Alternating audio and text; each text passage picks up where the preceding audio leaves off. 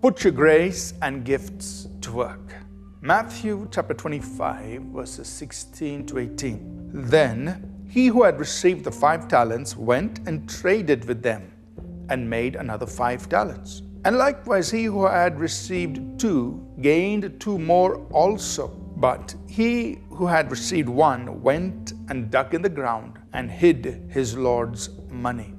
As we continue to consider the parable of the talents, we see what these three individuals did. Two of them went and put what they have received, they had received, put it to work. They traded with it. They did something with it. Uh, Luke 19 says they engaged in business or they engaged in the, uh, in the world. They put what they had given to use uh, in order to make profit, in order to multiply it, in order to increase it. And the first person who had received five doubled it. The second person who received two doubled it. But the third person who received one did nothing with it. He just went and hid it, kept it safe, secure, but he didn't make an effort to multiply it. There is a message that the Lord wants us to get out of this story, that this parable that He's giving us. The important lesson He wants us to learn is this that whatever grace and whatever gift, gifts God has placed on our lives, he wants us to put it to work. He wants us to do something with what has been given to us. Take what God has given you and begin to engage with it. Put it to work. Develop, nurture the grace and the gifts on your life, and then put it to work. Begin to do things with it. Let it begin to bear fruits. Uh, let it begin to cause multiplication, cause things to come forth uh, out of those grace and gifts that have been placed on your life. What the Lord wants us to understand is we should not do what this one individual did. So, as you and I make this journey through life, we discover what God has given to us and then we begin to put it to work. Now, you can engage with the grace and gifts on your life professionally.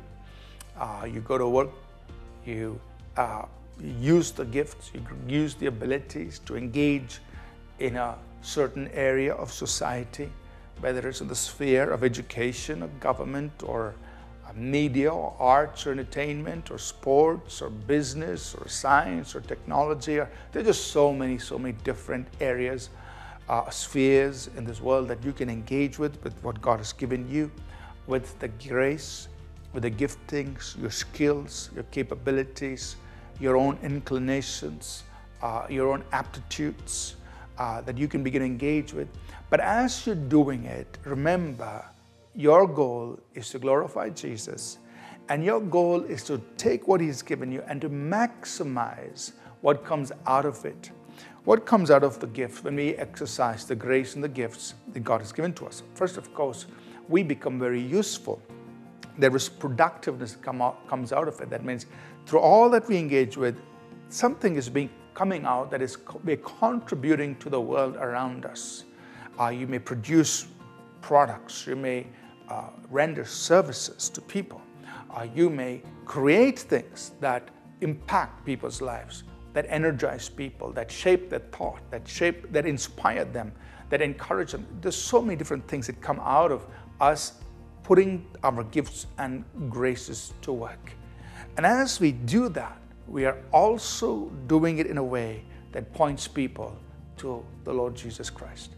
That we are able to engage with this world, we are able to engage with people, and in the process, we are able to influence them and touch their lives for the kingdom of God.